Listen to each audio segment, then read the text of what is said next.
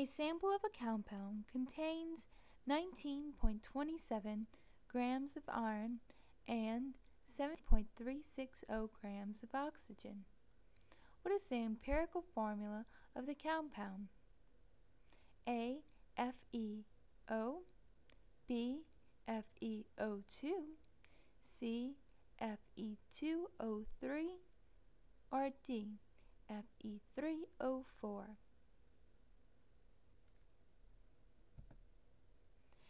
Here's a general strategy for determining empirical formulas.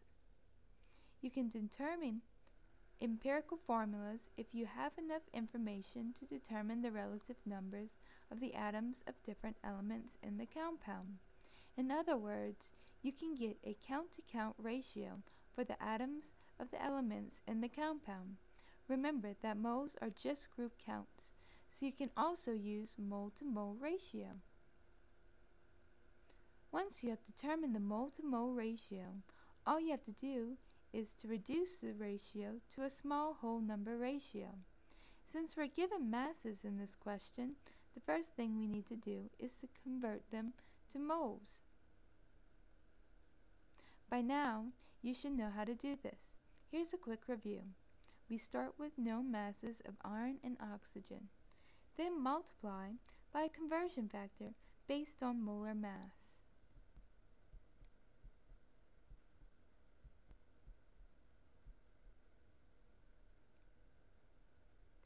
55.85 grams per mole is the molar mass of iron and 16.00 grams per mole is the molar mass of oxygen. These calculations give us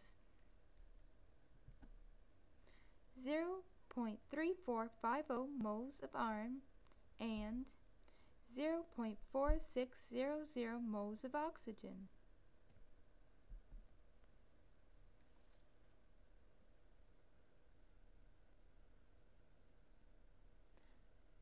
So far, we have determined that the sample contained 0.3450 moles of iron and 0.4600 moles of oxygen.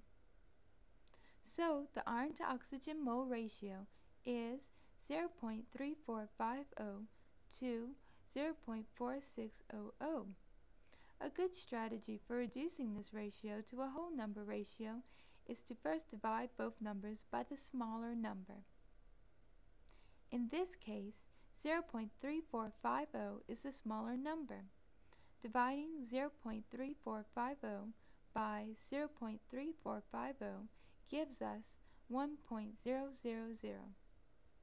And dividing 0.4600 by 0.3450 gives us 1.333.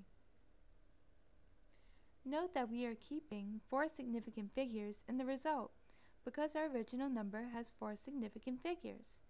When the decimal point is at least 0.1 away from a whole number, you should not just round it off. We should not just round off 1.333 to a whole number.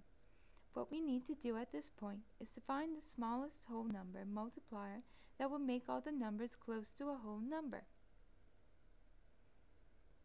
Try 2.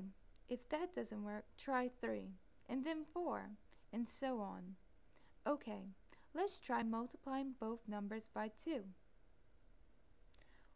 1.000 times 2 equals 2.000.